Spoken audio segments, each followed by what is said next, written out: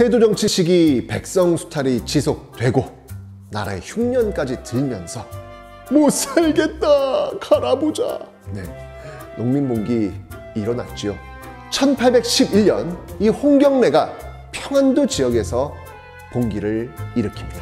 이 평안도 지역의 차별로 불만이 높았던 이 농민들과 몰락 양반 등이 바로 이 봉기에 참여했습니다. 이 홍경래가 봉기군은요 서북 지역을 점령했는데 아 결국 관군의 공격으로 진압되고 맙니다.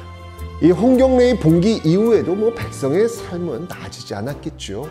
아, 결국 농민들은요 1862년 다시 봉기를 일으킵니다.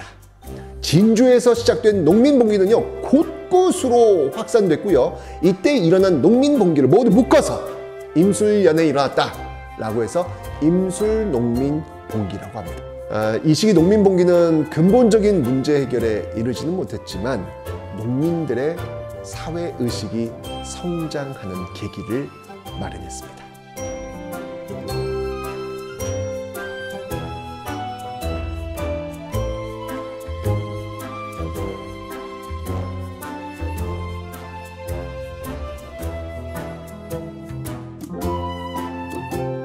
자 여러분 내일도 잊지 말고요. 하루 한강